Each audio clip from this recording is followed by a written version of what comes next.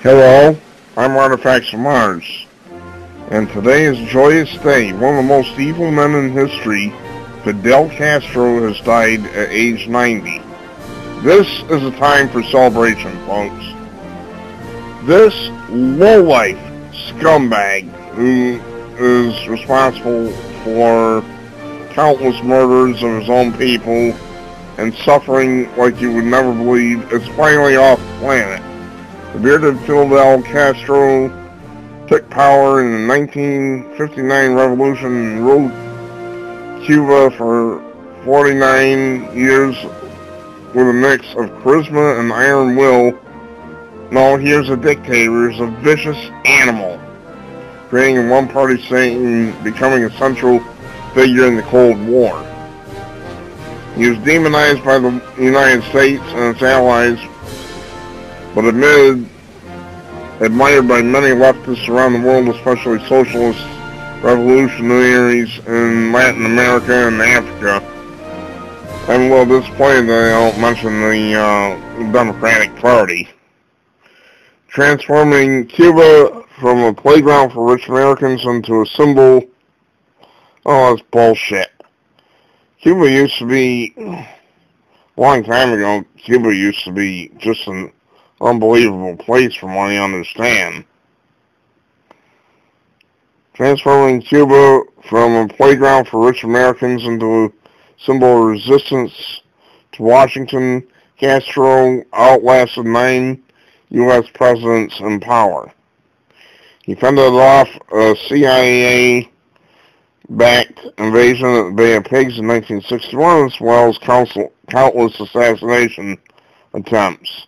His alliance with Moscow helped trigger the Cuban Missile Crisis in 1962, a 13-day showdown with the United States that brought the world closest has been the nuclear war. Well, that's bullshit too. Uh, huh, we got a lot closer with Obama, in my opinion. Anyway, wearing green military fatigues and chomping on cigars for many years, of his years in power, Castro was famous for long, fist-pounding speeches filled with blistering rhetoric, often aimed at the United States. At home, he swept away capitalism and won support for bringing schools and hospitals to the poor. That is a sham. He also created legions of enemies and critics, concentrated among Cuban exiles in Miami who fled his rule and saw him as a ruthless tyrant. Well, at least somebody saw him as an evil person. All these uh, college-educated liberals and these college professors, they sit there and they praise this dirtbag like he was some kind of a good guy. He was evil to the core. He was a dictator Today is a day for celebration, like I said. Yeah!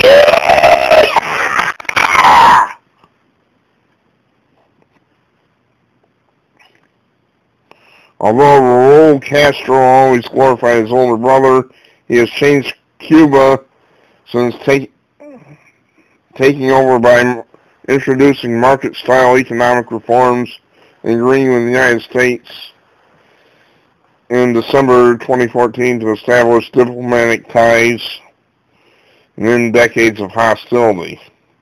Yeah, he hasn't been quite as bad as his brother was.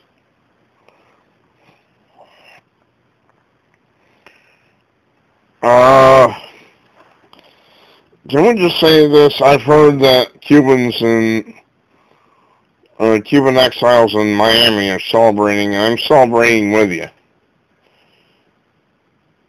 I know what this guy was to you, even if our uh, media doesn't. I'd like to say I stand with our uh, Cuban American friends. Today is a joyous day. Let's all celebrate. I'm Artifacts of Mars, and I am happier than can be. Thanks for watching.